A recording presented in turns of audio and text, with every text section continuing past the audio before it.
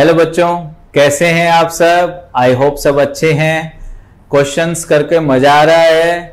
हमने बीच में आपको एक दिन का रेस्ट इसलिए दिया था ताकि आप अपने टॉपिक्स को अच्छे से रिवाइज कर सकें। आपको जो वीक पॉइंट आपको पता चले हैं, उनको आप अपना कवर कर सके। ठीक है बच्चों, आज बात करते हैं क्वेश्चन ऑफ़ द डे में। The cutting of DNA at specific location became possible with the discovery of examiner क्या पूछना चाह रहे हैं बच्चों?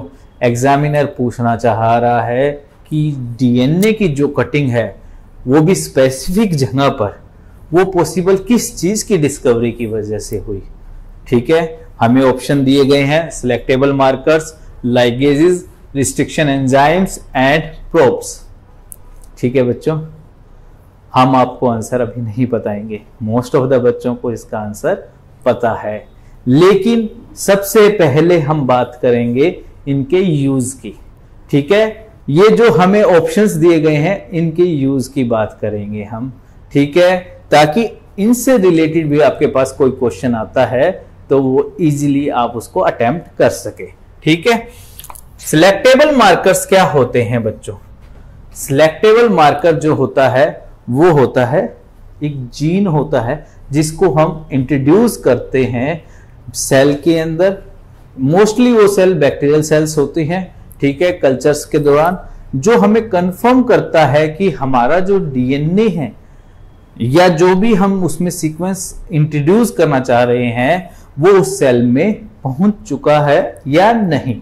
ठीक है मार्कर क्या होता है? इंडिकेटर भी हमें शो कर देता है कि वो चीज़ उसमें पहुँच चुकी है। ठीक है बच्चों, बात करते हैं लाइगेज की। लाइगेज लाइगेज भी एंजाइम होता है और वो कैटालिटिक एंजाइम जो है, वो उस रिएक्शन को काम करता है जिसमें दो मॉलिक्यूल्स की ज्वाइनिंग हो लार्ज मॉलिक्यूल्स की। ठीक है बच्चों लाइगेज का मतलब भी पता चल चुका है। अब बात करते हैं रिस्ट्रिक्शन एंजाइम्स की। रिस्ट्रिक्शन एंजाइम्स क्या होते हैं? ये रिस्ट्रिक्शन एंजाइम्स जो होते हैं, वो डीएनए के सीक्वेंस को रिकॉग्नाइज करते हैं, ठीक है, और वहाँ उनको कट लगा देते हैं, ठीक है? रिस्ट्रिक्शन एंजाइम्स को रिस्ट्रिक्शन एंडोन्यूक्लियस भी कहा गया है, ठीक है? आप सभी को आंसर शायद इसी से पता चल चुका है, क्योंकि कटिंग ऑफ़ द डीएनए इसी के अंदर आया है, ठीक है? बात हम प्रोब्स की भी कर लेते हैं। प्रोब्स क्या होते हैं? सिंगल स्टैंडर्ड डीएनए और आरएनए ठीक है? जो सर्च करते हैं किसको अपने कंप्लीमेंट्री सीक्वेंस को। ठीक है?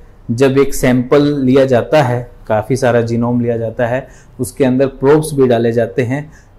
हमें उस प्रोब्स के सीक्वेंस का पता होता है।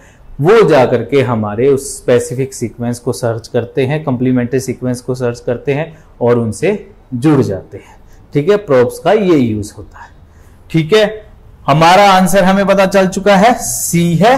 ठीक है बच्चों, इसका एग्ज़ाम्पल इको आर वन हमने पढ़ा हुआ है। ठीक है, एक इंटरेस्टिंग बात आपको बताते हैं 1978 में डिस्कवरी ऑफ़ रिस्ट्रिक्शन एंजाइम के कारण जिन्होंने इसकी डिस्कवरी की थी, उनको नोबल प्राइज भी मिला था। ठीक है, ये हमारे डीएनए क्लोनिंग में काफ़ी इंपॉर्टेंट है बच्चों।